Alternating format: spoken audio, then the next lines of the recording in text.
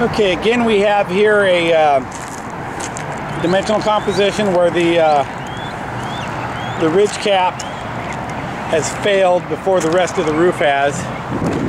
If you look down the line, you'll see it's all just damaged, uh, kind of crumbling apart. And uh, we're going to want to replace this ridge cap so it'll last uh, for the remaining life of the, uh, rest of the roof, which is roughly four years, maybe five years at the most.